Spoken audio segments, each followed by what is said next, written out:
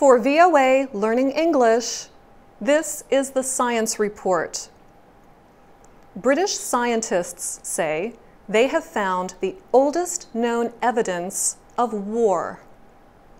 Researchers discovered the remains of 27 people during a dig near Lake Turkana in northern Kenya.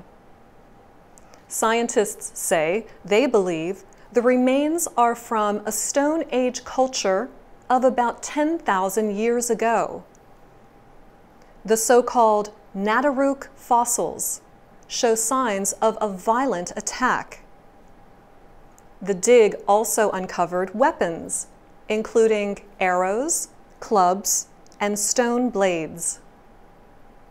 The scientists published a paper on their findings in the journal Nature.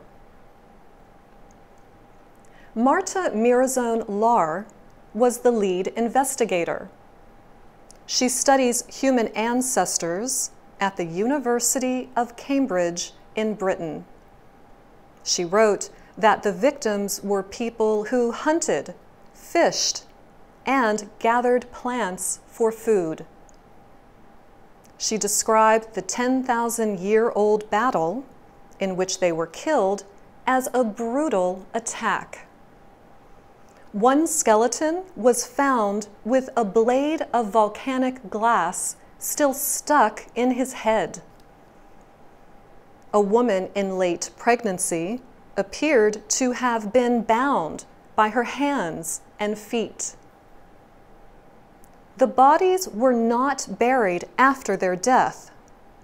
Some had fallen into water that has since dried up. Their bones were protected by the Earth's soil. Many experts had thought war did not begin until humans started to form settled communities. But the Nataruk people were hunter-gatherers of an earlier period. They moved from place to place in search of food.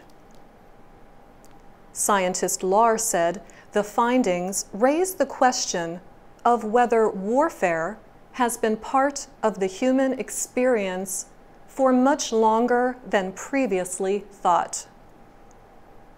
The remains include 21 adults and six children.